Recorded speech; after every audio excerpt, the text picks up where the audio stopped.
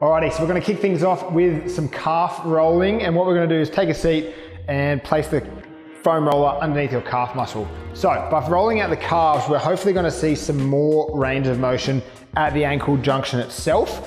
Uh, and what we're gonna do is start with the oscillation technique where essentially we're gonna be moving about one to two inches either side of where we pin the muscle or the trigger point. So right now we're gonna look at the gastroc and what we're gonna do is use our upper body to move forward and back one or two inches at a time.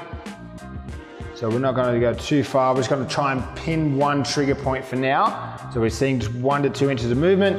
And then to make it more intense, what we can do is lift the hips, or we could even grab this other leg and put it on top to add some more intensity. So once he does this, he's gonna feel some, some heat through the calf. Oh yeah. Second technique, take that top leg off. We can go side to side. So we can just look from side to side and that's sort of gonna get the lateral, then the medial gastroc, and we can start to see that. The other technique is to pin the muscle and then look at flexing and extending that muscle. How's that one feel? Oh yeah, so we're looking for a flexion extension. So the oscillation technique or the pin and activate technique is uh, the two that we're looking for there. So you can see him doing dorsiflexion, then you can see him doing some plantar flexion, which is gonna get straight into that gastroc or the soleus if he wants to move further down towards the ankle.